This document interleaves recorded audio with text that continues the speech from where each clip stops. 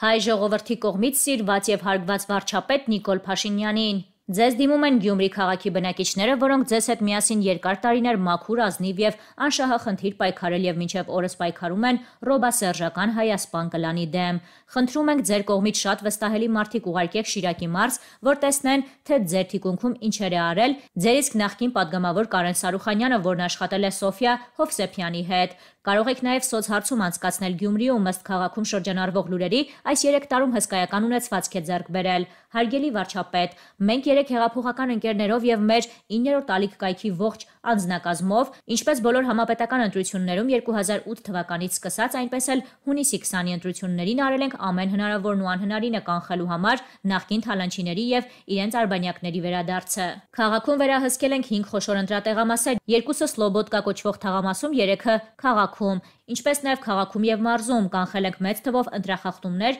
ինչի արդյունքում արձանագրվեց ժողովրդի հաղթանակը Գյումրիում եւ մարզում։ Գյումրիում ԿՊ-ն ստացավ ձայների 62%, ինչում եւ մենք ունենք մեր մեծ լուման։ Պարոն վարչապետ, շուտով Գյումրի քաղաքում կայանալու է քաղաքապետի ընտրությունը ըստ քաղաքում շրջանառվող լուրերի, ԿՊ ցուցակում Կարեն Սարուխանյանի եւ Նազելի Բաղդասարյանի խորհրդով ներառել եք մարդկանց, որոնք շատ խորը արմատներով երկար տարիներ կապված են եղել եւ մինչեւ օրս էլ կապված են ռոբասերժական ռեժիմի թալանչիների հետ հարգելի Նիկոլ Փաշինյան, բայց չէ որ 3 տարի առաջ դուք եւ մենք ասում էինք, որ նախկինների եւ իրենց արբանյակների վերադարձ չի լինելու։ Հիմա ի՞նչն է պատճառը այդ մարդկանց գրանցելու ԿՊ ցուցակում։ Պարոն վարչապետ, ժողովրդի մի մասը ձեզ վստահելով մյուս մասն էլ ստիպված, քանի որ չեն ուզում նախկինների վերադարձ, իրենց քվեն կտան ձեզ, ոչ թե իրենց։ Բայց դրա հետևանքները լինելու են դաժան եւ անդառնալի։ Հարգելի եւ սիրելի վարչապետ, եթե Գյումրիում այս մոլեգնող տագնապալի լուրերը եւ ժողովրդի մոտ անհանգստացող մտավախությունները ճիշտ են, ապա խնդրում ենք ձեռնարկեք քայլեր, լսեք ժողովրդի ձայնը։ Այս ամենին մենք նայում ենք մեծ սրտի ցավով, քանի որ կշերքի նժարին է դրված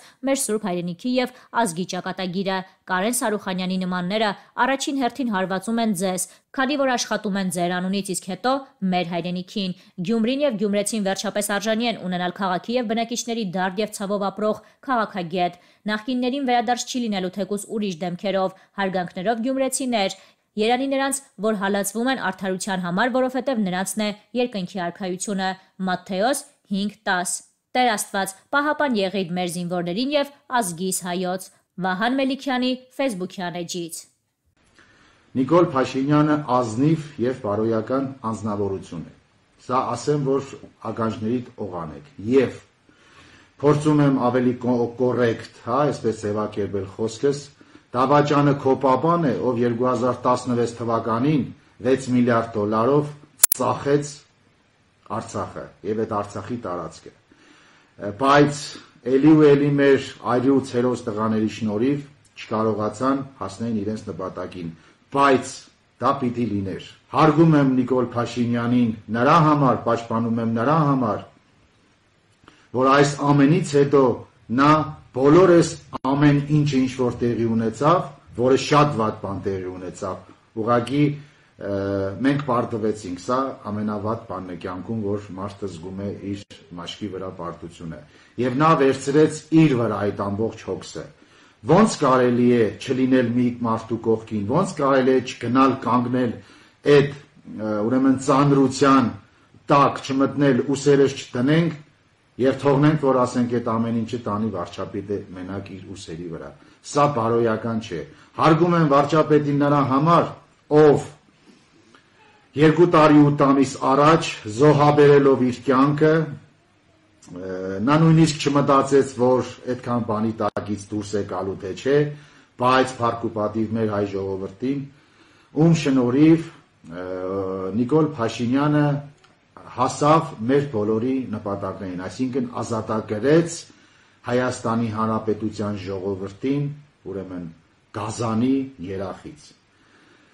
Եթե այսքան այսքանը ինչ որ ես ասում եմ, դուք շատ լավ գիտեք, պիտի որ հասկանաք, որ նման մարդու կողքից ուղակի կարճ ասեմ, հա, փախնելը կամ դավաճանելը, սա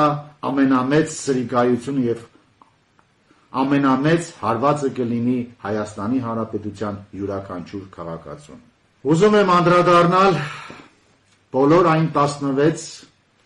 ճագերտների մեջ կուսակցություններին, ովքեր բոլորը միասին մի հատ զինվորի ոտքի տակից եղ չարժեն։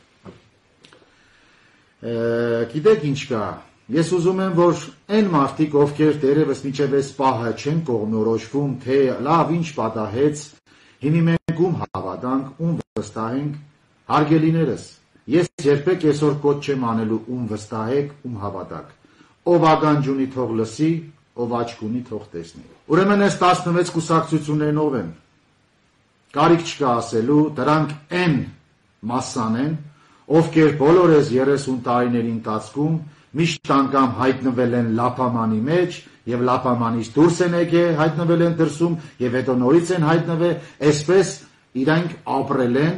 քայքայելով, փլուզելով Հայաստանի Հանրապետությունը։ Ձեզ հետաքրքիր չէ ինչի դաշնակցություն կուսակցությունը այսօր ամեն ինչ անում է, այս ասֆալտից այն ասֆալտի վրա է պարկում, այս մայթից այն մայթի վրա է պարկում, հացադուլ է անում, ջրադուլ է անում, չգիտեմ, սեքսադուլ է անում, ինչ է անում, գիտեք ինչ կա։ Հասկացեք ընկերներ, դուք որպես քաղաքական գործիչներ ճակերտների մեջ, դուք պարտված եք, դուք արդեն քաղաքական դիակներ եք։ Ասեմ ձեզ, որ ես Շատ ընկերներ, մտերիմներ, հարազատներ ունեմ, որոնք դաշնակցություն կուսակցության մեջ են։ Եվ ես նրանց չեմ դադարելու հարգելուց, որովհետև